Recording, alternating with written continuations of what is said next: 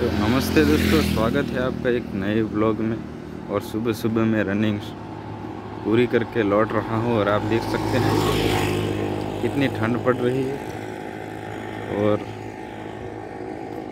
Road एकदम सुनसान नज़र आ रहा है।